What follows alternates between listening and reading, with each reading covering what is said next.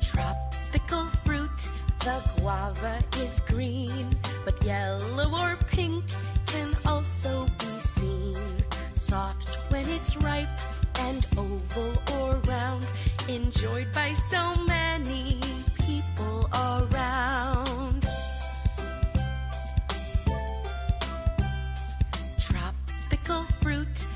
guava is good, used in both sweet and savory food. Eat in a salad, eat in a curry, or as it is when you're in a hurry.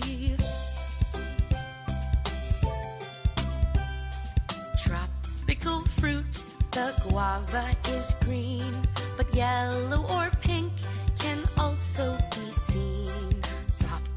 that's ripe, oval or round, enjoyed by so many all the world.